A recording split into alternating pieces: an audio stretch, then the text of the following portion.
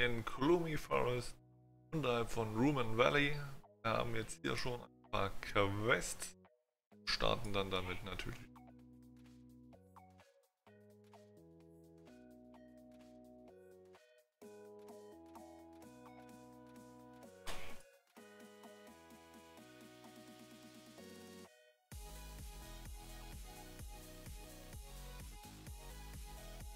Und wir müssen hier ein paar Mushrooms pflücken.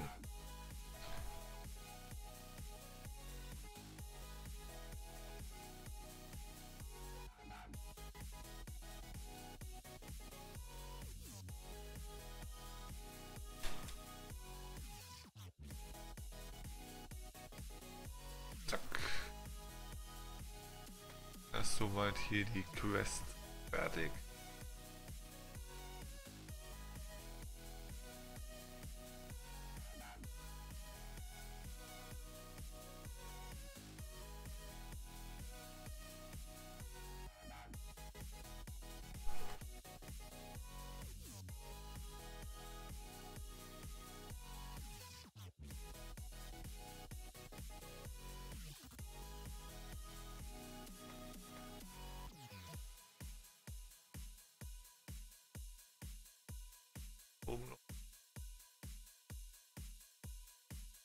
Hier unten weg.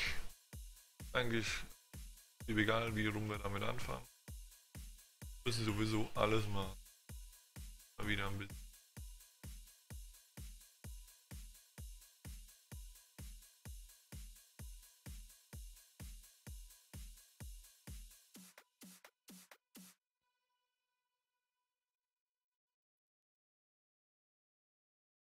wir sind wieder in der Bisschen weniger Damage. Wen interessiert das schon?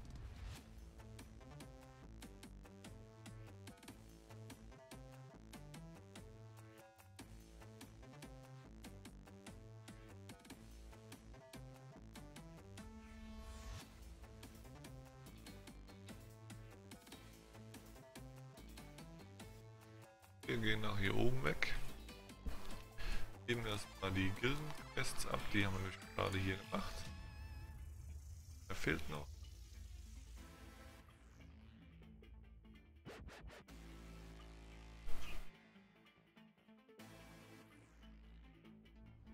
So, wir sind jetzt in der Insider Cruiser, unser Transportmittel zwischen den ganzen Maps beziehungsweise Levelgebieten dazu notieren.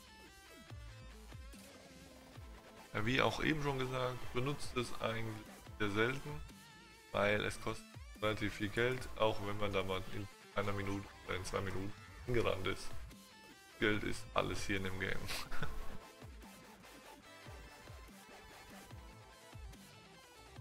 Wir gehen jetzt zu Cruiser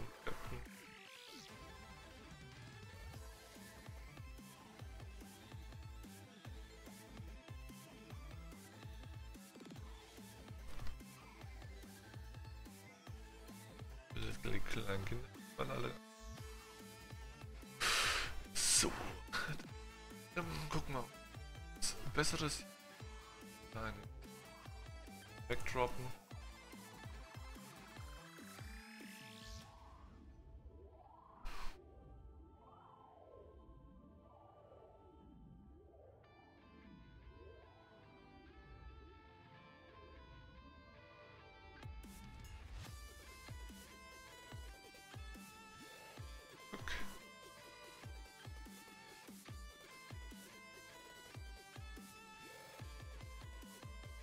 Dann gehen direkt wieder ins Levelgebiet. Im Levelgebiet stehen natürlich die Kosten von da aus, wo man liegen von der Cruiser Crew. Manche Gebiete sind kostenfrei zum Teleportieren, manche kosten Geld bis zu 1,5 Gold ist glaube ich das meiste.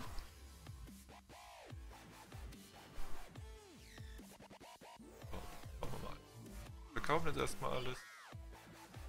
Wir müssen hier oben noch eine Quest abgeben. Die können nicht ab. Könnte ich jetzt zwar auch mittlerweile zwischendrin, aber. Verkehrs. Okay,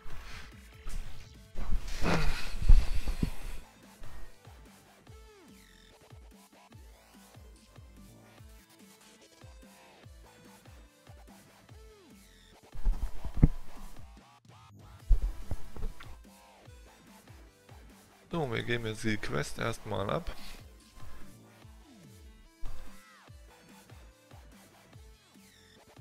Wir sind auch gleich Level 10 schon. Dann können wir nämlich unsere andere Seku auch anziehen, was noch im Inventar rumliegt.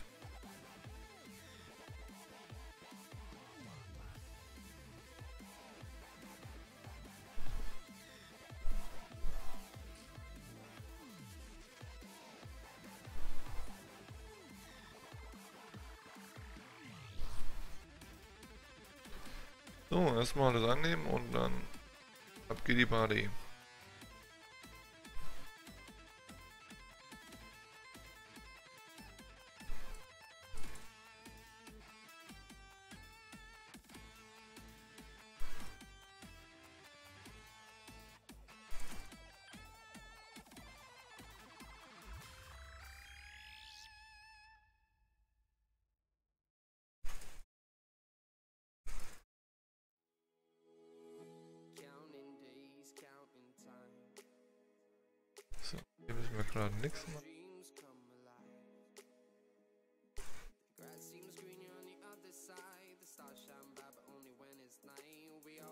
So, welcome to Level 10. Wir haben wieder ein paar neue Quests bekommen.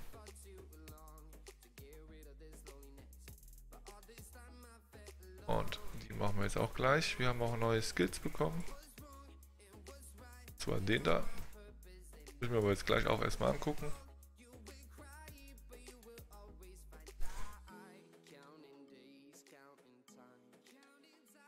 Und wir können jetzt auch skillen.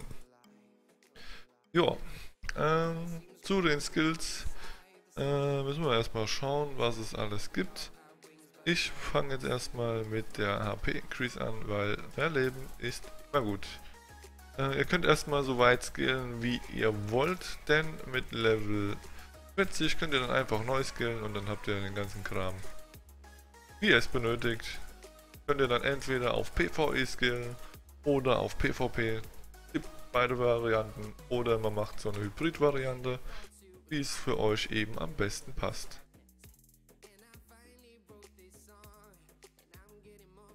So, Machen wir mal hier die Pflänzchen und nebenbei gucken wir mal Aim Shot. Äh, okay.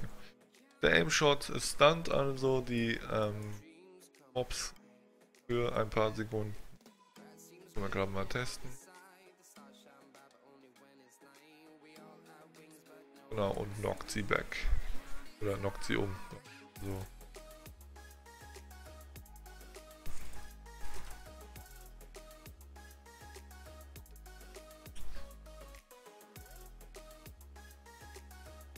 So, wir geben die Quests mal wieder alle ab. Gucken, ob wir was Neues, Schönes bekommen haben. Ja.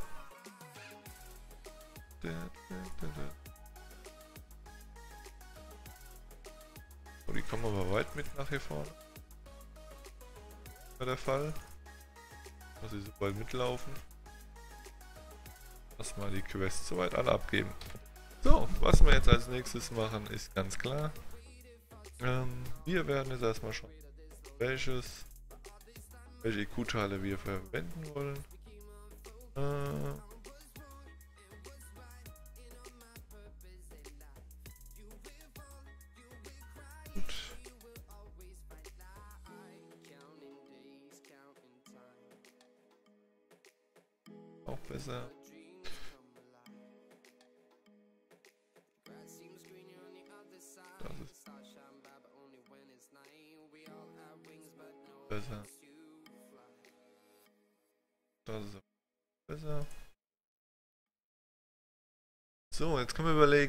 zweimal den Bogen gehabt.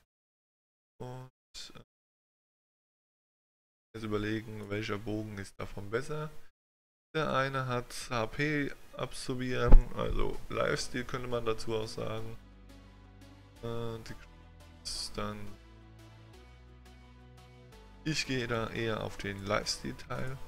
Und hier bei der Riffle, da haben wir es. Oh, hier haben wir Crit dabei.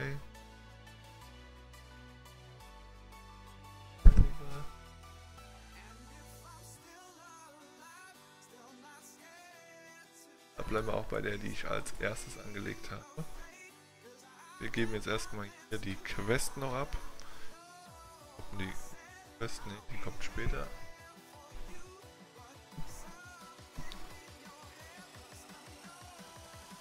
So, also fehlen uns drei Items eigentlich nur.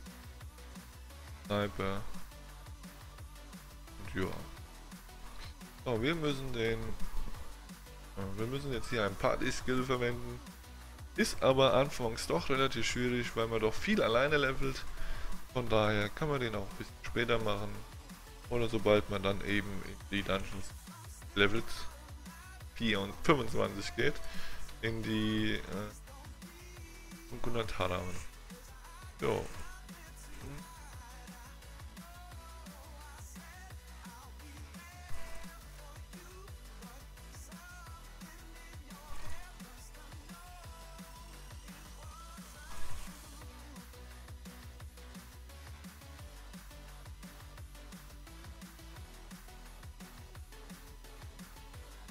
glaube, genau, es hilft, solange wir nicht dann nur da mit anhitte.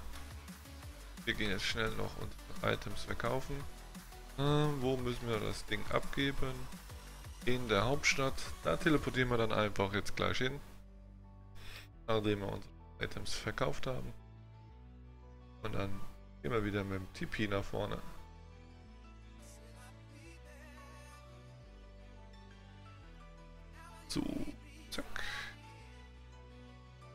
Erstmal alles so kaufen.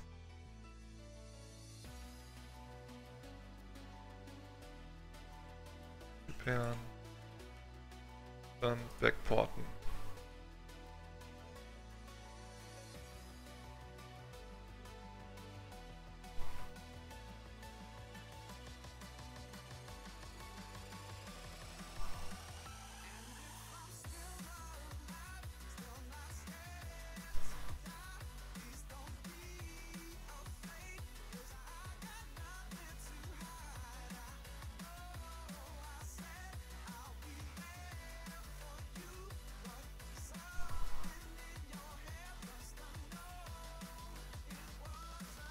Haben gerade als Quest-Gegenstand einen neuen Ring bekommen. Ich werde jetzt gleich erstmal schauen, ob der besser ist. Was soll denn jetzt? Äh, die Reinforcement verwenden. Da gehen wir auf.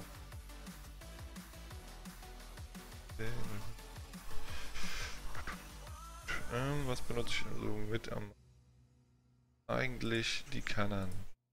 Reinforcement heißt einfach das Item upgraden, um darauf jetzt, wenn es funktioniert, plus 1 zu bekommen und eben mehr Damage auszurichten. So, Item wieder an. Und fertig. Quest. So, wir haben jetzt hier noch ein paar andere Quests, die werden wir jetzt noch schnell alle erledigen. Währenddessen ich hier dahin reite. Gucken wir mal, ob der Ring irgendwie besser ist. Ist auf jeden Fall besser als der. Ein Problem gibt es hier bei der ganzen Sache. Bei dem Items vergleichen, besonders bei Ringen und Ohrringen. Er vergleicht immer nur mit einem Ring. Deswegen ziehe ich immer einen aus, sodass der dann äh, immer mit dem einen verknüpft wird. So, dann können wir den nämlich hier kaufen.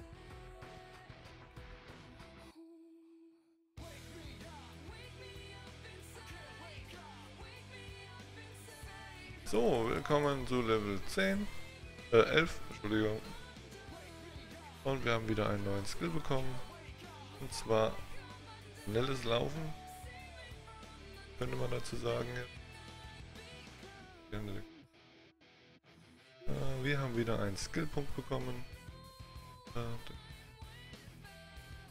zu den Skills überlege ich mir dann später was. wie ich den am besten skillen werde. So, wir gehen zurück in Gloomy Forest. Gucken wir mal. Da unten müssen wir die Quest gleich abgeben.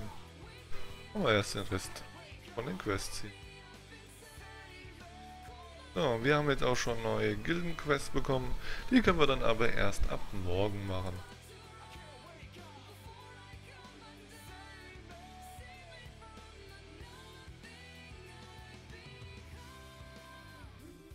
Ziehen?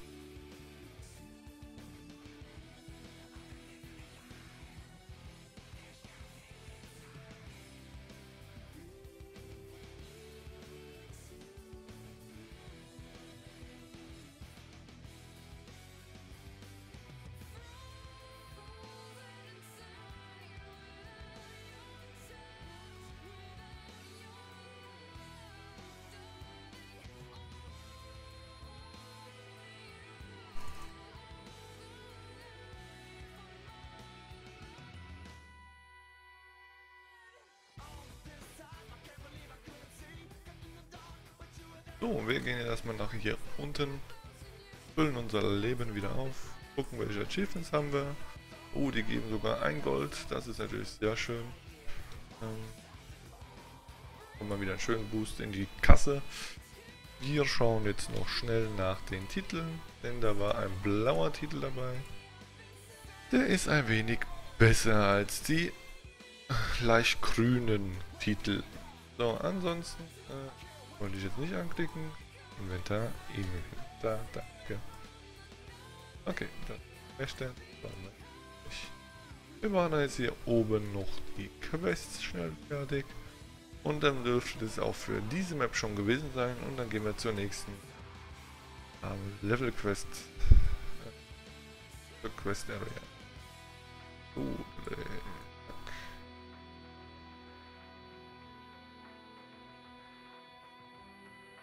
Moment.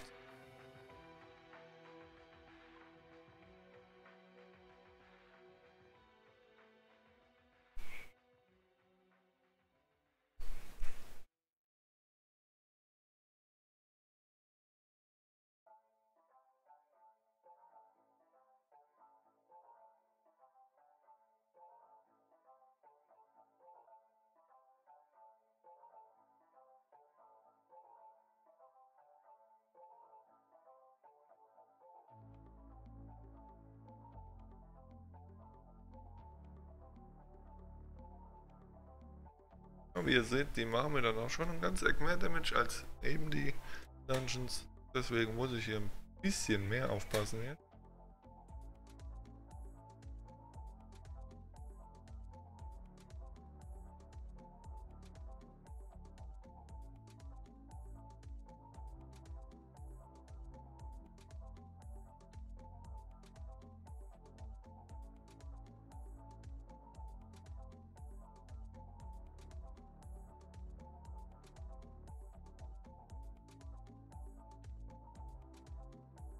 Und ich sehe gerade, ich habe keinen Livebot mehr in der Leiste. Deswegen immer mal ein bisschen auf, aufpassen, dass da irgendwie sowas passiert. Und ihr seid mitten im Fight gerade. Ich habe keinen Livebot mehr dabei.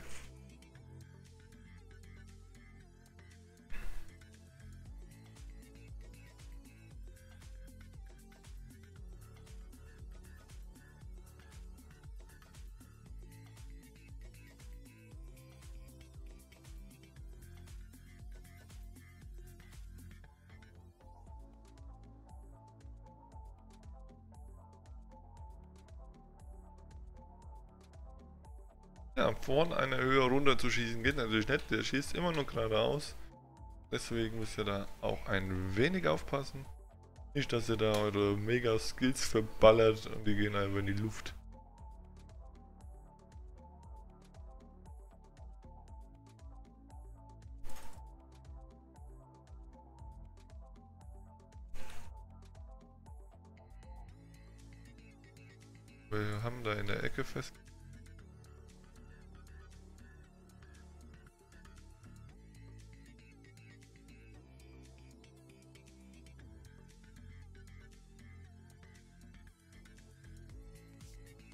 Jetzt hier die Kinder befreien in der Dungeon, damit die wieder zu Mutti können.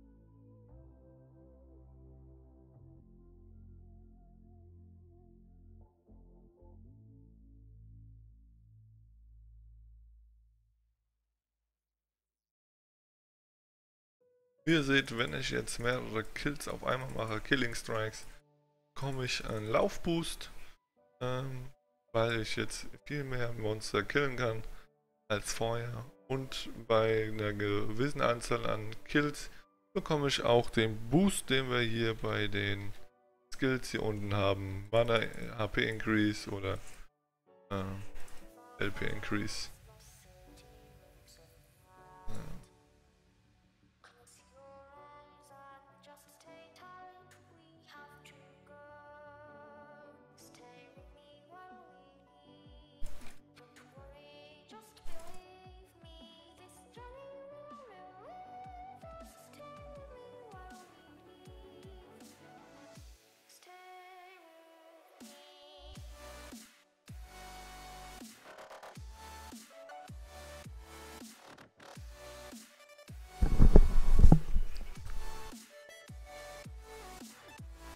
Sind jetzt fast beim Boss angelangt.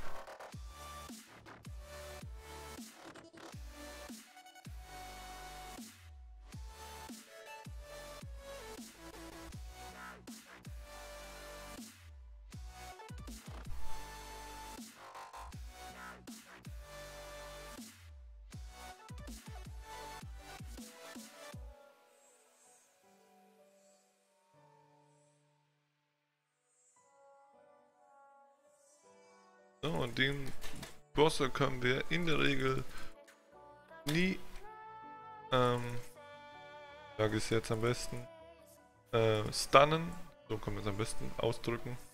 Die sind dagegen in der Regel immer resistent. Deswegen versucht es gar nicht, das Mana dafür rauszupulvern.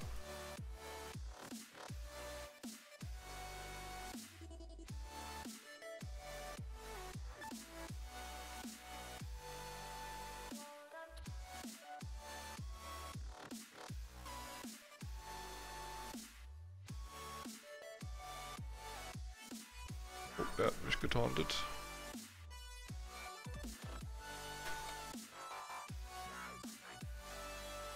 Bei HP hat er noch 2% Leben.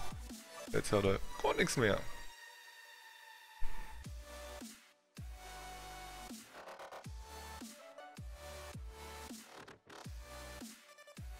So, hier gibt es hier drin soweit nichts mehr. Daher können wir wieder rausgehen.